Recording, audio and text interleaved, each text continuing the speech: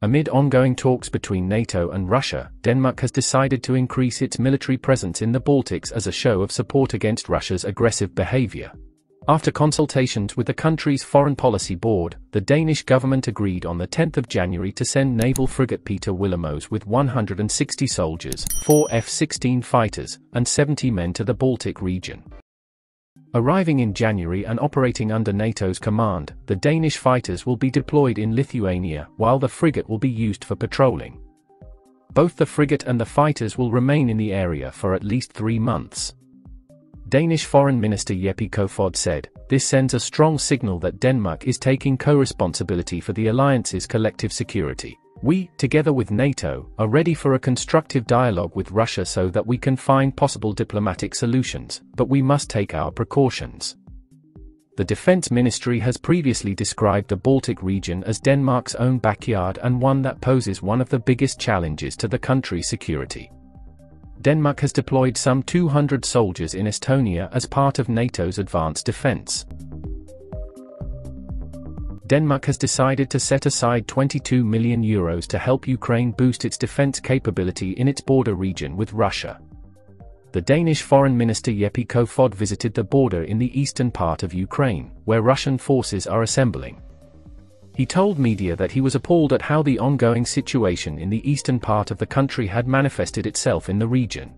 He said, Ukraine is acutely threatened by the massive and unheard of a military buildup by Russia near the Ukrainian border. The government will not sit idly by and watch. Our new aid package is comprehensive and every step is needed. We are hereby sending a clear signal regarding our solidarity with Ukraine. The Ukrainian people will know that they do not stand alone in their fight for sovereignty and independence. We must support Ukraine and its right to be a democratic country in its own right. That is why we are now strengthening our Danish contribution to Ukraine's reforms of its security forces. We are also increasing our contribution to Ukraine's military training and our assistance in bringing Ukrainian military personnel in line with NATO standards. I will not leave out further contributions.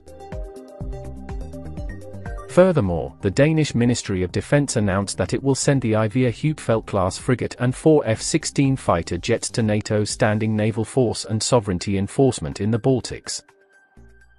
According to the ministry statement, the Danish government has decided this after consultation with the Foreign Policy Board. The Danish contribution will be under NATO's command but will focus on the Baltics. The Royal Danish Navy frigate HDMS Peter Willemoes will be ready for deployment from mid-January and the four F-16 fighters by the end of the month. The contribution with the frigate Peter Willemoes is for NATO's standing naval forces, where in addition to the already registered contribution of three months, Denmark offers a frigate for another three and a half months. Danish Defence Minister Trine Bramsen said, We offer a strong and sought-after contribution to NATO by sending a frigate with 160 soldiers and 4 F-16 fighter jets and 70 men. That an almost unified Danish parliament is behind this is an important and clear signal.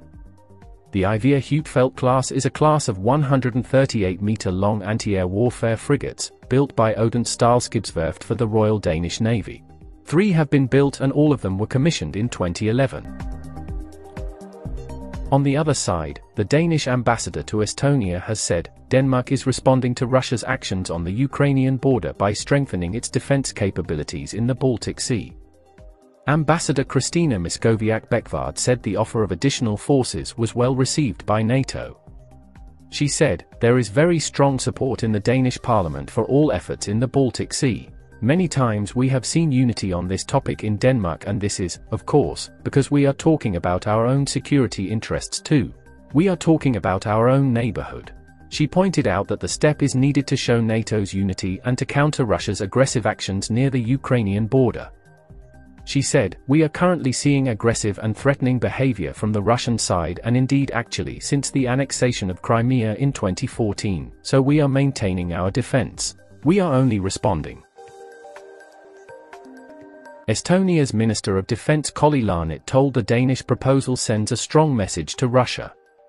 Although Russia's goal is to divide the Allies, Denmark's decision shows the opposite. The minister said, Russia must understand that NATO and also its allies are ready to show solidarity if they decide to attack the Baltics. he said negotiations are underway to enhance NATO's security forces on the eastern flank but could not give any more information. Speaking about Washington's commitment to the region and the possibility of a compromise between Russia on security issues in the Baltic states, Laanet said he did not think this was a possibility. He said, I believe that NATO is united, the United States is one of NATO's most important countries, as are Estonia and the other Baltic states. And as long as NATO is united, I do not think it is possible to discuss such proposals at all. These are completely unacceptable proposals the minister said is convinced the US is committed to protecting the Baltic states.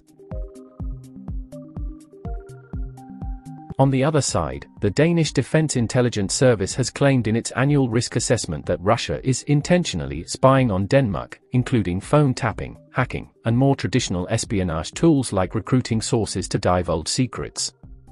The report also underscored Moscow's military dominance.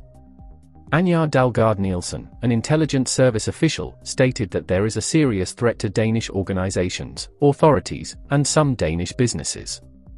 In comparison to previous releases, this year's report lays a larger emphasis on Russia, which is perceived as posing a threat to Denmark in other areas as well, such as the Arctic, where both countries have territorial claims. According to the report, the Russian military is of a very high standard and in some areas, they are even better than modern, high-tech opponents. According to the Danish intelligence community, Russia has now gained parity with NATO in several sectors following five years of military rearmament and modernization.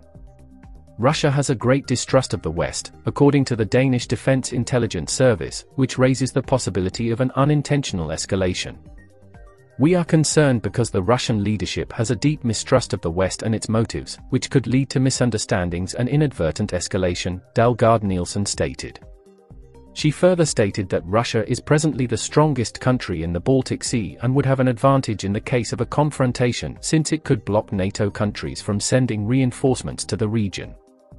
The report also said foreign intelligence services, including from China, Russia, and Iran, were trying to make contact with students, researchers, and companies to harness information on Danish technology and research.